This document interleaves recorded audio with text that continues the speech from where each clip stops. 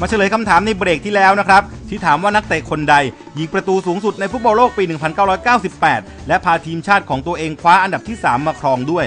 นักเตะคนนั้นก็คือดาวอร์ ซูเคอร์ ทีมชาติโครเอเชียครับ เขายิงประตูสูงสุดในฟุตบอลโลกปี 1998 ถึง 6 ประตูด้วยกันครับ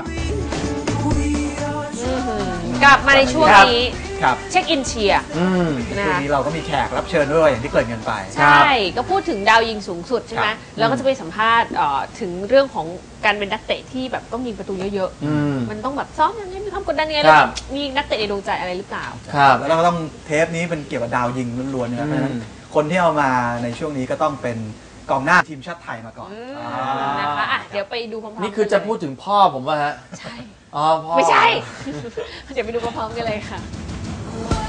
ช่วงเช็คอินเชียร์วันนี้ เราพาท่านผู้ชมมาที่สนามราชมังคลากีฬาสถาน เพื่อมาเจอกับหนึ่งในกองหน้าที่ถือเป็นขุนพลของทีมชาติไทยชุดเอเชียนเกม ปี 2014 เขาคนนี้ก็คือเจ้าทูครับ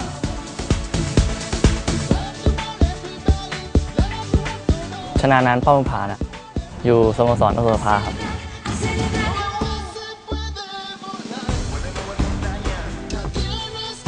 ในครั้งนี้ก็ชอบคริสเตียโนโรนัลโดครับ เพราะว่าเขาเป็นทั้งกัปตันทีมเป็นทุกอย่างของทีมเลยครับก็ชอบในสไตล์เล่นและการยิงประตูของเขาที่แบบดุดันครับ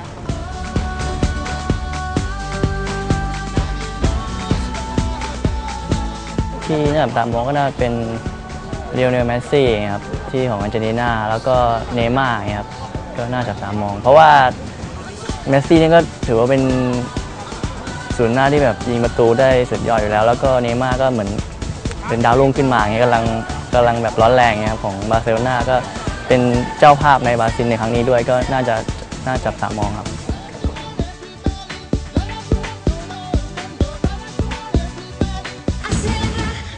ก็ในส่วนตัวเชียร์สเปนนะครับ แต่ก็คิดว่าปีนี้เหมือนบราซิลก็แข็งแกร่งขึ้นมาแล้วได้เปรียบในเรื่องของการเป็นเจ้าบ้านนะครับ ก็น่าจะมีเสียงเสียงเชียร์อะไรอย่างนี้ก็น่าจะเป็นตัวช่วยให้เขาแบบ กลับมาเป็นแชมป์อีกครั้งได้ครับ อ่าจากบ้านเราบ้านเรา ฟังทัศนคติไปแล้ครัวบมาในช่วงนี้ครับเราคุยกันเรื่องดาวยิงสูงสุดแบบรวมๆไปแล้ว ใช่ก็คือเราดูของครั้งที่แล้วเนี่ยว่าใครยิงเยอะผ่านไปละ อืมคราวนี้เราต้องมาพูดถึงของใหม่บ้างครับ อ่านี่จะมีลุ้นดาวซันโวของครับ ฟุตบอลโลก 2014อ่าแยกทวีปเลยไหมเออแยกครัทบวีปไปดีกว่า ส่งเข้าประกวดในแต่ละทวีป ในส่วนของดาวซันโวว่าสายสะพายแบบมีใครกันบ้าง มีสายครัสะบพายเลยนะอ่าโอ้โหนี่มิสไหนฮะมิสเตอร์มิสยูนิเวิร์สหรือไงเออช่วงนี้กำลังกำลังกระแสแรงกันด้วยนะโกลเด้นใช่บูธเออมิสโกลเด้นมิสเตอร์โกลเด้นบูธอะครับส่งเข้าประกวดจากเอเชียคนนี้อืมอ่านะถูกจากต้องญี่ปุ่นใกล้ๆเอเชียบ้านจะเราหน่มีอยจะมีสักกี่ เนาะอ่าก็น่าจะเป็นทางด้านของปีแอร์นะฮะเอเชียมากเลยชื่อปีแอร์ญี่ปุ่นของญี่ปุ่นใช่ไหมครับ นะคะทีมญี่ปุ่นเนี่ยพูดถึงในรอบคัดเลือกโซนเอเชีย มีใครครับ ที่โดดเด่นบ้างพี่บอยคะมีเยอะแยะมากมายชินจิคากาวะอ่าอ่าคาราวะ อ่าครับแล้วก็มีพวกเคสุเกะฮอนดะอ่า ใช่ ซึ่งตอนนี้ก็อยู่กับมิลาน มีคนนี้ก็เล่นดีเอ่อชินจิทงคัตสึอร่อยเลยราดซอส ใช่ราดซอสมาไม่ใช่ โอ้โหทอดไหมเลย แล้ววันนี้เนี่ยเรามีเขาเรียกว่ากองหน้าทีมครับชาติญี่ปุ่น อีกคนอืมหนึ่งที่ถือว่าน่าจับตามอง ครับเพราะว่าครับ คนนี้นี่เป็นคนที่ทำให้ไมนซ์ในบุนเดสลิก้าอืมนะที่อยู่ในสโมสรที่ไม่ได้ใหญ่มาก ไปลุยยูโรปาลีก season หน้าเลยนี่ นะครับคือแกยิงคนเดียวเนี่ย15 ลูกครับ นะฮะสำหรับชินจิโอกาซากินะครับอืม เนี่ยคนนี้ก็ทำให้ญี่ปุ่นเนี่ยเข้ารอบบอลโลกได้เป็นทีมแรกเลยนี่ของฟุตบอลโลกในครั้งได้นี้ตัวไป และญี่ปุ่นก็จะเป็นทีมแรกเหมือนกันใจร้ายเขาอาจจะฮะอาจจะเข้ารอบไง อาจจะเป็นทีมแรกที่เป็นแชมป์โลกใช่ไหมที่เข้ารอบ เออนะอะเดี๋ยวไปดู VTR กันเลยนะคะ ชินจิโอกาซากิค่ะ ชินจิโอกาซากินักเตะทีมชาติญี่ปุ่น จากสโมสรไมนซ์ในบุนเดสลิก้าเยอรมัน โดยชินจิโอกาซากินั้นเป็นนักเตะที่เล่นเป็นทีม มีความแข็งแกร่ง และสามารถทำประตูได้ดีเมื่อมีโอกาสครับ จึงทำให้ฟุตบอลโลกรอบคัดเลือกรอบสุดท้ายปี 2014 โซนเอเชียนั้น โอกาซากิยิงได้ถึง 8 ประตูครับ และเป็นดาวซัลโวสูงสุดในฟุตบอลโลกรอบคัดเลือกรอบสุดท้าย 2014 โซนเอเชีย ซึ่งโอกาซากิเคยเล่นฟุตบอลโลกมาแล้ว 1 ครั้งครับในปี 2010 และสามารถยิงไป 1 ประตูในเกมที่พบกับทีมชาติเดนมาร์กรอบแบ่งกลุ่มครับเข้ามาถึงการแข่งขันฟุตบอลโลกครั้งนี้ก็คงต้องติดตามดูผลงานของโอกาซากิกันแล้วครับว่าเขาจะสามารถยิงประตูในฟุตบอลโลกครั้งนี้ได้หรือไม่ครับรูปร่างไม่ใหญ่นะแปดประตูนะใช่ยิงได้ถึงแปดลูกเยอะมากถือว่าเยอะโซนเอเชียครับใช่ไปโซนอื่นบ้างได้ไหมฮะ ได้ค่ะ ครับ มาโซนนี้ดีกว่าคราวนี้ present เลยเอออเมริกาใต้จ้ะ โอ้โห ก็อเมริกาใต้เนี่ยคงจะต้องเป็นบราซิลแน่ๆไม่ใช่นะฮะใช่ ไม่ใช่บราซิลเหรอฮะ ใช่ซะด้วย เป็นอุรุกวัยจ้าอ๋อเป็นอุรุกวัยนะ แล้วเป็นใครรู้ไหม ฟอร์ลันแน่ๆเลยโถ่เอ้ยนี่ มีคนเดียวแหละ รักของรักรักรักบ้างรักเขาบ้าง เขาเป็นคนดีแล้ว ใครฮะใครแล้วฮะก็ได้รางวัลมากมายอ่าเป็นใครเป็นไม่ได้นอกจากลุยส์ซัวเรส โอ้แต่ว่าตอนนี้เนี่ยคต้องลุ้นที่นิดนึงพาลิเวอร์พูลไม่ได้แชมป์มานะเออ ทำร้ายแขกรับเชิญตลอดพิธีกร เออ ก็ช่วงนี้ต้องลุ้นลุ้นกันหน่อย ครับเพราะว่าครับ มีอาการบาดเจ็บที่บริเวณหัวเข่า ใช่ใช่คือเจ็บระหว่างซ้อมใช่ นะปิดฤดูกาลไปแล้วมาซ้อมกับทีมชาติก็มาเจ็บซะไปอีก สืบทราบมานะฮะ อ่า ว่าทางด้านของโซเลสที่เจ็บตรงหัวเข่าใช่ไหมฮะเขาเจ็บประมาณข้างในเข่าตรงเนี้ยฮะ โอ้โห เอาอีกแล้ว ไม่จริงๆแต่หมอเนี่ยวินิจฉัยแล้วครับ ต้องผ่าเอ้ารู้ใช่ไหมฮะเขาต้องผ่าผ่าแล้วเสร็จเรียบร้อยแล้วเขาก็เลยผ่าตรงเนี้ยฮะ ถึงนี่เลยฮะตลลกงมานี่ละแล้วแหวก ขาออกมา อะไร อันนี้เขาเรียกชันสูตรเขาไม่ได้ผ่าผ่าผ่าเยอะแล้วมากผ่าเรียบร้อยแล้ว แล้วก็ครับคุณแม่ออกมาบอกว่าจะพัก2อถึงสสัปดาห์ไม่น่ามีปัญหาเดี๋ยวก็ต้องรอดูนะครับอาจจะแบบใช่ฮะบางบางบางกระแสก็บอกอาจจะพักในช่วงรอบคัดเลือกอะไรอย่างนี้ อืมอะไรก็รอดูแล้วกัน ครับ แต่ที่แน่ๆเนี่ยก็ถือว่ายิงประตูสูงสุดในทวีปอืมอเมริกาใต้ใช่โชคโชคร้ายนะบางทีคนเก่งๆ ต้องมาเจออาการบาดเจ็บก่อน ใช่เข้าไปฟุตบอลโลก ใช่อะก็ต้องรอลุ้นกันนะคะ แต่ว่าอืมตอนนี้ไปดูประตูสุดสวยของลุยส์ซัวเรสกันก่อน ลุยส์ซัวเรสดาวยิงจอมถล่มประตูทีมชาติอุรุกวัย จากสโมสรลิเวอร์พูลรองแชมป์พรีเมียร์ลีกอังกฤษ ปีล่าสุดครับที่เขาต้องผิดหวังพลาดคว้าแชมป์พรีเมียร์ลีกไปอย่างน่าเสียดายคนนี้นั่นเองครับแต่เขาก็ทำประตูสูงสุดด้วยการยิงประตูไปถึง 31 ประตู เป็นดาวซัลโวในพรีเมียร์ลีกอังกฤษ เหมือนกับการเล่นจากในระดับชาติของหลุยส์ซัวเรสครับเขาก็ยิงประตูสูงสุดในฟุตบอลโลกรอบสุดท้ายปี 2014 โซนอเมริกาใต้ ด้วยการยิงไปถึง 11 ประตู ซึ่งในฟุตบอลโลก 2010 นั้นหลุยส์ซัวเรสก็สามารถยิงประตูได้ 3 ประตูครับพาทีมคว้าอันดับที่ 4 ในฟุตบอลโลกปี 2014 ก็ต้องมาดูกันละครับว่าปีนี้หลุยส์ซัวเรสจะสามารถยิงประตูได้กี่ประตูในฟุตบอลโลกครั้งนี้ครับ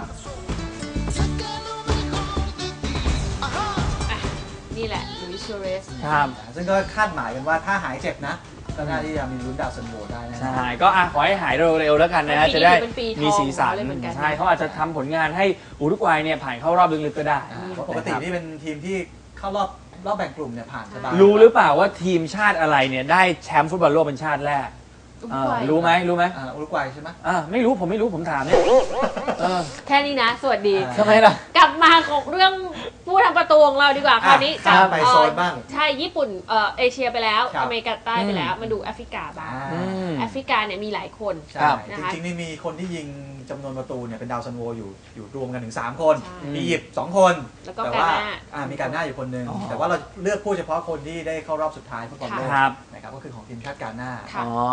อัสมาอากิยานอีกทีสิครับ อะไรสนะมาอากิยานอ่า อ่านี่แหละได้คยินนนี้ได้แหยิละนเกียร์เกียร์รามวาเกียร์บุ้มบุ้มบุ้มบุ้มบุ้มบุ้มเลย คือถ้าชื่อยากให้พูดเร็วๆ คนดูฟังไม่รู้หรอกฟังไม่ทันเนี่ยฟังไม่ทันหรอกโถเกียร์ของกาหน้าเออนะคะ ก็ยิงไปเยอะเลยทีเดียว ครับ เดี๋ยวเราไปดู VTR ของเราเลยกัน คนนี้ครับอาซาโมอากิยาน อดีตกองหน้าของซันเดอร์แลนด์ ซึ่งยังเป็นศูนย์หน้าตัวหลักของทีมชาติกาหน้าครับในปีนี้เขาอายุ 28 ปีแล้วครับเขายิงไป 6 ประตูในรอบคัดเลือก เขายังมีสถิติยิงประตูได้มากกว่าจำนวนนัดที่เขาลงสนามซะด้วยครับในการลงเล่นให้กับอัลไอน์ต้นสังกัดในสหรัฐอาหรับเอมิเรตส์ทีมสโมสรปัจจุบันที่เขาลงเล่นอยู่นั่นเองครับโดยฟุตบอลโลก 2010 ที่ผ่านมานั้นกียานยิงประตูไปได้ 3 ประตูครับ ซึ่งครับกิยานเนี่ยเขาบอกว่าครั้งนี้นี่เขาบอกฝันร้ายจากครั้งก่อนยังไม่หายเลยนะใช่ไหม ไอ้ที่ภาพติดตาที่ว่ายิงจุดโทษพลาด แล้วทำให้กาหน้าเนี่ยตกรอบตกรอบ แพ้อุรุกวัยในการโดนจุดโทษ ครับอ่าน่าเสียดายนะฮะครั้งนี้ก็มุ่งมั่นเป็นพิเศษ ใช่ก็ว่าจะพลาดอีกลูก ไม่ใช่ นะ ก็ตอนนั้นยิงไป 11 ประตูอ่านะคะตอนในนี้ในก็ เส้นทางที่ผ่านมา ใช่ แล้วก็ตอนนี้ก็เล่นอยู่ในเอเชียด้วยนะครับอยู่กับอัลไอ Al Ain นะครับใน UAE แล้วก็ทำทีมเป็นป้องกันแชมป์ลีกสูงสุดของเขาด้วย ครับ อีกคนหนึ่งอืมโซนคอนคาเคฟคอนคาเคฟ ผมเผารีพรีเซนต์นะฮะ แคลรี่เลย ใช่คนนี้หลาย ๆ คนอาจจะไม่รู้จักนะฮะอืมรวมไปถึงผมด้วย ผมก็ไม่รู้จัก เพราะว่าเขาเล่นในโซนพวกอเมริกาใต้อเมริกาเออทางด้านของจะไม่ค่โออยคุ้รินเบเท่าไหร่ปารันต้าอืมนะฮะเขาได้แชมป์ในโซนคอนคาเคฟนะฮะเขาไปเล่นอยู่โซนนั้นนะฮะแล้วเขาสามารถยิงประตูได้สวยงามมากเลยนะฮะวันนี้อยากให้ดูมากเลยแคลรี่พรีเซนต์เนี่ยที่บอกเออเป็นใช่คือจริงๆในแหโซวนกพอแนวเทปนะบอกว่ามีมีคนที่ทำประตูสูงกว่านี้ ครับ ใช่ก็คือคือเป็นชาติที่แบบไม่ได้ว่าเข้ารอบสุดท้ายฟุตบอลโลกครับ นะเราก็เลยเอาพูดเฉพาะคนที่มีโอกาสจะค่ะ ทำผลงานได้ดีในฟุตบอลโลกครั้งนี้ดีกว่าใช่ใช่ซึ่งครัก็บกลายเป็นพ่อหนุ่มคนนี้นะครับอืม เปเปราต้านั่นเองใช่ใช่เปโรตาเม็กซิโกใช่เป็นทีมชาติเม็กซิโก อืมห้าประตู เดี๋ยวเราไปชมกันเลยวิดีโอของเขาค่ะ คนนี้ครับโอลิเบเปราต้ากองหน้าทีมชาติเม็กซิโกอายุ 30 ปีครับ เป็นดาวซัลโวสูงสุดในรอบคัดเลือก หลังยิงไปถึง 10 ประตู รวมทั้ง 5 ประตูในรอบเพลย์ออฟกับนิวซีแลนด์ครับ จึงทำให้โอริเบเปรัลต้านั้นเป็นกองหน้าตัวอันตรายของเม็กซิโก ที่กองหลังฝั่งตรงข้ามจะประมาทไม่ได้เลยครับ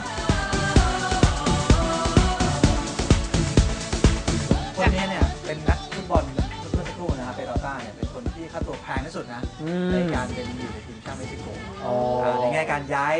อ่าย้ายสโมสระหว่างร สโมสรภายในของเขาครับนะคะเอาล่ะจากคาคาเคฟคราวนี้มาดูในยุโรปบ้างโอ้ใกล้ตัวใกล้ตัว ใกล้ตัวใกล้ครับตัวมาก ยุโรปโอ้โหมีหลากหลายมากเลยอะเลือกใครอะไม่ใช่เลือกไม่ได้เลือกเขายิงเยอะเออใครอะก็นั่นไงแมนยูไง โรบินฟาร์เพอร์ชอบซี ไม่โอ้ใช่เหรอ11 ประตูเลือกไม่ค่อยชอบแล้วชอบแล้วเมีปัญหาเยอะลำคาญ นะ แหมบอกเชื่อผมเลย เชื่อผมแล้วดูกันหน้าเก็บครับคำสัมภาษณ์นี้ไว้ปรากฏย้ายเดี๋ยวคอยดูอ้าวไม่ใช่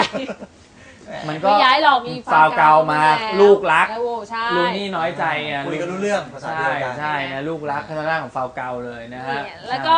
เนี่ยค่ะฟานเพอร์ซี่ก็เป็นคนที่ยิงประตูได้สูงสุดในโซนยุโรป ใช่ 11 ประตูด้วยกันใช่ นะไปดูความสุดยอดของเขากันค่ะ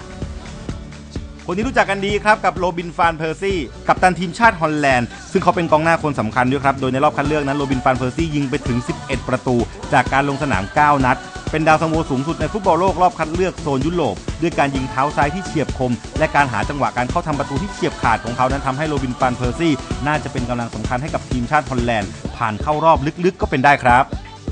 อะสุดยอดแน่นนะฮะ แล้วโหเบผรมกนี้ เชื่อมากผมว่าประทับใจของผมนะฮะ ทางด้านของโรบินฟานเพอร์ซี่นะฮะค่ะอะอีกนิดนึงก็ไม่ได้อะไรนะ แต่ว่าเดี๋ยวฤดูกาลหน้าเขาก็จะได้ทางด้านของเอ่อผู้สอนคนใหม่เข้ามา manager คนใหม่ก็คือหลุยส์โฟกานะฮะเข้ามา ผมเนี่ยนะ หิวข้าวอีกแล้ว กินบ้างไม่ดีนะ เดี๋ยวไขมันในเลือดสูง ตั้งแต่ทงคัตสึแล้วเนี่ยแหละนะฮะเตรียมมาเพื่อเล่นมุกนี้โดยเฉฟาวพาะเกาเลยเออครับนะ นะ ยังไงปีนี้เนี่ยเขาน่าจะทำผลงานได้ดี ใช่เพราะว่าโรบินฟานเพอร์ซี่นี่เล่นกับแมนยูก็มาตรฐานยังเหมืมาอตรนฐานเดิยังมดี ไม่หายไม่ตกลงไปเลยนะใช่ ถือว่าสุดยอดเหมือนเดิม แล้วก็ในทีมชาติฮอลแลนด์เป็นกัปตันทีมด้วยครับครับเรารอดูกัน อะใช่ใช่ครับแล้ว เอาล่ะเบรกนี้หูอัดแน่นไปด้วยประตูสวยเออๆเต็มไปหมด เดี๋ยวเบรกหน้ากลับมายังมีเขาเรียกว่าอะไรที่น่ารักน่าแชร์ให้ดูกันอ่ากักับช่วงน่ารักน่าแชร์นะใช่ครับ แต่ตอนนี้พักสักครู่ค่ะ